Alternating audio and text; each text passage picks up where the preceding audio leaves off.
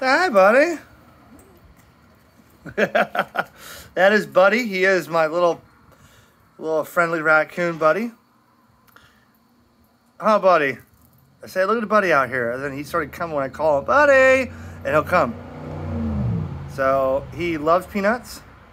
His favorite color is blue. Uh, know. I don't know much about this guy. All I know is if his friends come by, they might come by and hang out and eat a couple peanuts, but they don't like him.